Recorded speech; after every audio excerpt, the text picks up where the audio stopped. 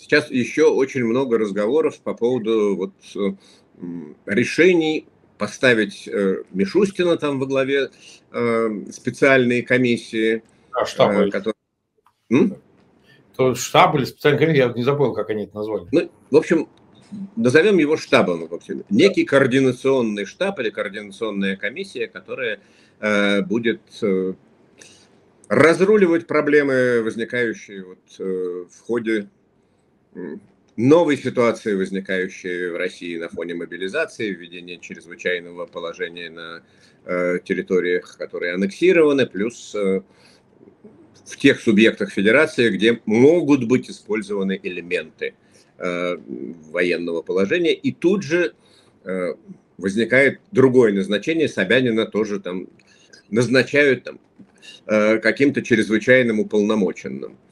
А, сразу многие вспомнили далекие 2006-2007 годы, вот далекие эти времена, когда а, Путин предъявил Граду и миру двух преемников, точнее двух кандидатов в преемники. Сергея Иванова, эм, Сергей Борисович был такой Иванов, про которого все уже давным-давно забыли, а ведь, между прочим, был и первый вице-премьер, и министр обороны. Э, вот, э, и секретарь Совета Безопасности до Патрушева был, э, считался без пяти минут следующим президентом России. Ну и Дмитрий Медведев там тоже в роли другого первого вице-премьера с ним конкурировал. В, в, в итоге Путин все-таки выбрал Медведева. Сейчас вот пошли разговоры, что Путин готовится к транзиту. Я в это не верю, сразу говорю, что он в 2024 году уйдет с поста президента. Но, тем не менее, вот пошли разговоры, что есть в голове у него запасной вариант, и он предлагает Граду и Миру теперь выбирать. Смотрите, есть Мишустин, есть Собянин, э, кто вам э, больше нравится. Я сразу говорю, там оба хуже. Да, понятно. Нет, мы даже это вообще не обсуждаем. Это опция по умолчанию, что они все, так сказать, из одного ларца. Но, но мы как бы, наш анализ, он необходим для того, чтобы понимать эту ситуацию, а кому-то делать правильные выводы. Да? Я тоже считаю, что Путин никуда не уйдет, во-первых, потому что ситуация сильно изменилась. Тебе не 2008 год, когда можно было теоретически, наверное, и не возвращаться. Но даже тогда он не ушел, он остался премьером при Медведеве. Да? И выбор Э, получается, был правильный выбрать Медведева, а не Иванова. Генерал Иванов еще бог знает, как бы себя повел. Человек он достаточно был амбициозный, хоть умел скрывать. Ну да, между прочим, я не знаю, слышали вы эту историю или нет, но мне рассказывали, что э, решающим таким вот камешком на весах Медведева стало то обстоятельство, что Медведев э, не заикнулся ни слова, ни полслова не сказал по поводу э, того, а какими условиями будет обставлен переход власти.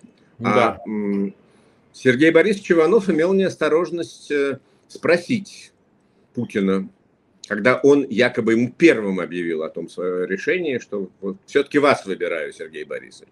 Он сказал, хорошо, Владимир Владимирович, а когда мы с вами поговорим об условиях передачи власти? Угу. Ну, я думаю, что и Путин... И Путин передумал и не стал объявлять э, публично э, Сергея Борисовича Иванова своим преемником, потому что тот э, воспринял это слишком серьезно. Да, да. Я думаю, Путин разводил, разводил, он, может быть, имел заранее решение, но ему важно было создать вот эту ситуацию конкуренции. В каком смысле сейчас она может ее напоминать? Вы знаете, много разговоров и в западной прессе, заметьте, в западной, разговоров было о повышающейся роли Патрушева и его сына Дмитрия Патрушева, да, что чуть ли не может произойти рокировка, значит, его с поста министров премьеры, ну, а Мишустин куда-то по горизонтали или куда-то уходит. И, и вы знаете, целый нарратив создался, где-то даже провокативно, может быть, даже специально, чтобы вызвать какое-то напряжение внутри системы власти. Я думаю, что и Запад тоже, конечно, безусловно, не пренебрегает такими способами воздействия дистанционного, публичного воздействия, что э, вот такое как бы отведение э, э, значит, Мишустину второму формальному лицу по Конституции, то он временно исполняющий обязанности, если что, является до проведения выборов.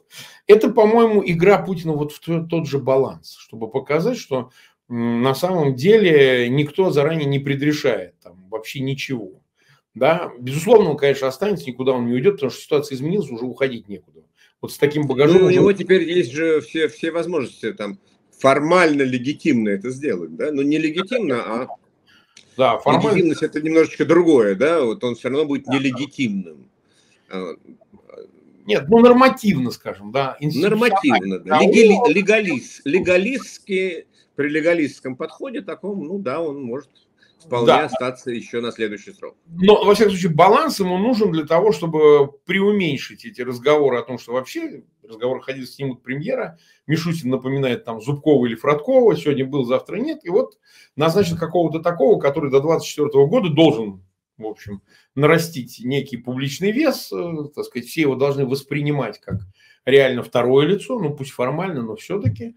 И мне кажется, что сейчас вот этими решениями отчасти Путин решает задачу, что он никого не собирается менять, что баланс создается вот так, потому что он даже специально сказал, что мы вот в этот орган во главе с Мишустиным туда войдут и представители силовых ведомств, то есть формально как бы с премьером будут находиться во главе его в органе, в котором будут согласовывать решения различного рода вопросов. Поэтому в этом смысле это сугубо аппаратное решение чисто для аппаратной игры, для того, чтобы показать, что, значит, есть какие-то противовесы правительственные в лице Мишустина. Мишустина действительно многие из олигархов и из э, людей аппарата власти прочат в такие приемки. Точнее, они бы хотели быть его протагонистами, потому что понимают, что он, формально не отвечая за войну, мог бы наладить какие-то там, я не знаю, взаимоотношения с Западом в постпутинский период. Все это, конечно, напоминает э, пустые разговоры, потому что пока есть Путин, все они лишены хоть сколько-то существенных оснований, потому что вы сначала избавьтесь от Путина, чтобы вообще намереваться хоть кого-то из поместить на эту должность, там, Мишустин или кого бы то ни было еще.